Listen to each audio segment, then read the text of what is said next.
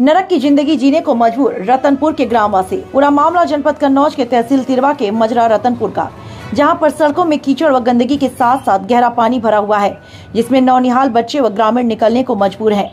ग्रामीणों ने बताया समस्या विगत कई वर्षों से बनी हुई है। गंदगी के चलते गाँव में बीमारी फैलने का खतरा बना है। कई बार बाइक सवार इसमें गिर चुके हैं, लेकिन अभी तक जिम्मेदार लोगों की नज़र नहीं पड़ी। उन्होंने बताया हमारे बजट में पैसा नहीं आया, इसलिए कार्य नहीं करा पा रहे। उन्होंने यह भी बताया कि वीडियो से बात हुई थी। उन्होंने कहा, पैसा जब बजट में आएगा तो कार्य करा दिया जाएगा। ग्रामीणों का कहना है, अभी तक ग्राम पंचायत सचिव कभी नहीं आए। ग्रामीणों ने बताया कि अगर हमारी समस्या का हल नहीं हुआ, हम जिलाधिकारी के यहाँ अमरण अनशन पर बैठेंगे। साथ ही विरोध प्रदर्शन की बात कहे। यहाँ तक कि गाँव की नाली भी साफ़ नहीं है। नाली भाखड़ा एनजीए नहीं है। नन्हे मुन्ने बच्चों को स्कूल जाने में काफ़ी मशक्कत करनी पड़ती है। नालियों को पक्का नहीं किया गया और नालियों से गंदगी कभी साफ़ नहीं की जाती, जिसकी वजह से पानी भरा रहता है, जिससे नौनिहाल बच्चों को भी कीचड़ में गिरने का डर बना रहता है और कई बार बच्चे गिर जाते हैं, उन्हें चोट लग जाती है।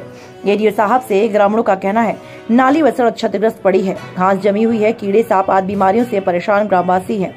इन ग्रामवासियों की बातों को सुना जाए और जल्द ही समस्या का समाधान किया जाए। टीवी इंडिया एटीन के लिए विकास पटेल की खास रिपोर्ट। भैया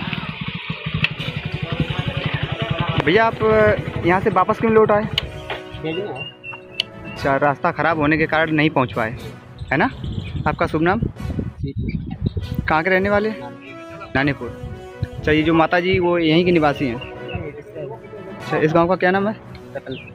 जी थैंक यू नमस्कार सर आपका शुभ नाम? हमारा? जी। रघुनाथ। प्रधान ये जो जल भराव है ये इसका इसके बारे में प्रधान ने क्या कहा? इसके बारे में टाइम मांगा है। क्या कह क्या कह रहे हैं? ये बरसात निकलने के बाद। अच्छा फिर क्या करवाएँगे? फिर इसको नाली और खरंजा बिछवाएँगे। अच्छा ये नाली खंजा और जो ये वाली जो रास्ता है ये रतनपुर के ये जो आपके गाँव के बीच की है तो इसमें ये जल भरा हुआ है घास जमी हुई है मिट्टी पड़ी है इसको प्रधान ने क्या कहा? प्रधान साफ़ नहीं करा रहे? तो ये तो प्रधान की ज़िम्मेदारी है हम क्या उसमें करें? अच्छा आप किस गाँव के निवासी हैं? हम रतनपुर तहसील? जिला? कन्नौज। प्रधान का क्या नाम है? प्रताप नारायण। इसी गाँव के निवासी हैं? हाँ इसी गाँव के निवासी हैं। Thank you